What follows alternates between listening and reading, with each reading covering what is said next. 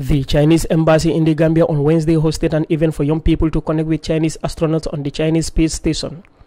The event was held in response to the growing interest in space exploration among African youths. Many young people in Africa dream of one day traveling to space, and the Chinese embassy wanted to support this ambition.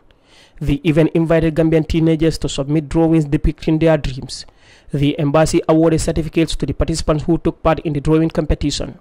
At the event, Chinese ambassador to the Gambia, His Excellency Liu Jin, said that the dreams painted by the participants are of great importance to the Gambia's future.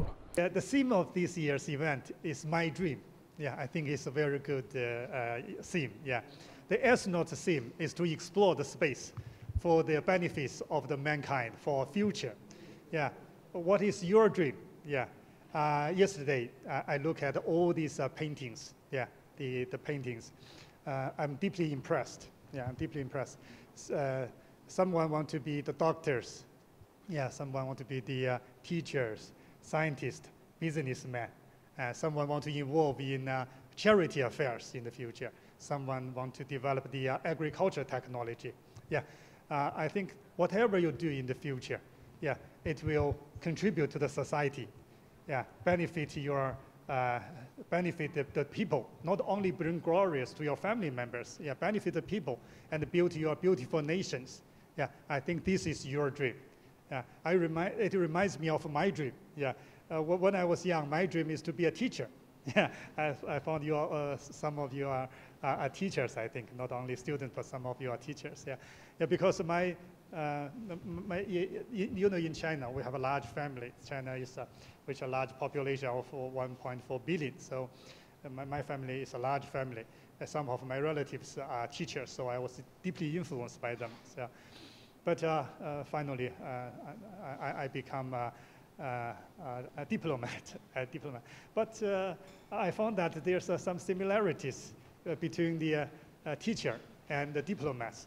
The same is that it needs to communicate with others, make friends with others, like ambassador here yeah, it's my responsibility to uh, contact with people from all walks of life, yeah, to communicate, communicate with you, share our friendship, Chinese people's friendship to the Gambians, yeah, to promote our bilateral relations. So my mission is my dream, or I can say my dream is my mission. Yeah.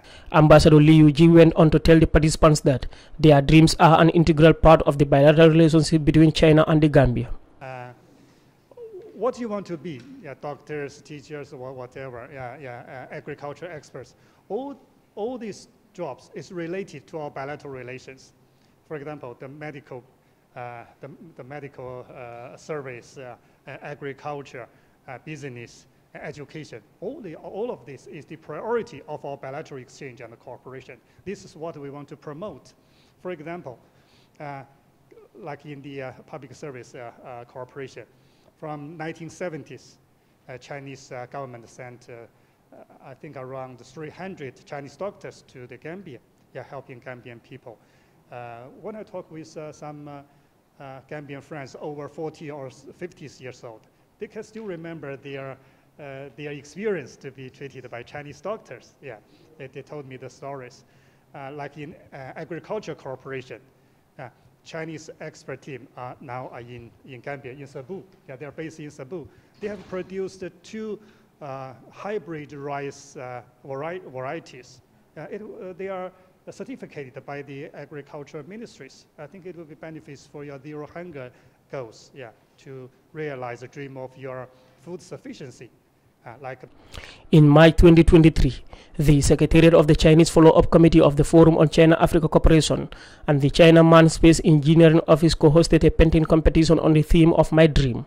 The winner of the competition, Blessing John Asweji, says visiting space has been a childhood dream for him, which is why he participated in the painting competition to showcase his talent. And I had the privilege of submitting my painting that represents my dream of exploring the vast universe.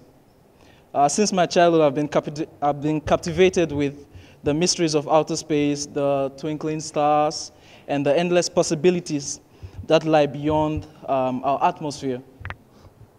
This passion has driven me into computer science and design as I constant, uh, constantly seek knowledge and delve into the wonders of the universe.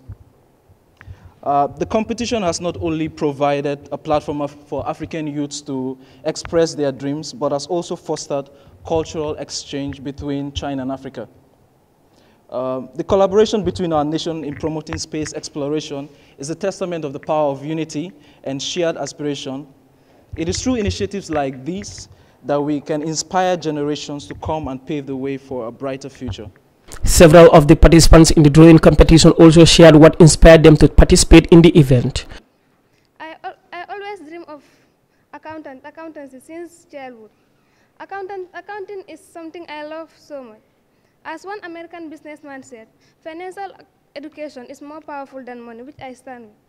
In our country, there are many different careers. Most of our careers interests include doctors, nurses, teachers, lawyers, etc. But there is another career that is very important to a country, and that is a career in agriculture. When my dream is to be a doctor. It is my childhood dream that I want to become a doctor. I mean, it's a noble profession that you can always associate with patients and treat them.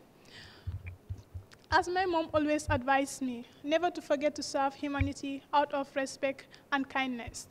I am quite optimistic that I will make my dreams come true. As of 2023, 18 Chinese astronauts had traveled to space. The Shenzhou 15 spacecraft, carrying three astronauts, returned to Earth after completing a six-month mission to build China's space station. They were replaced by three new astronauts, including China's first civilian, who will stay in the station for five months. Reporting for Kerr Fatou, I am Landin Sise.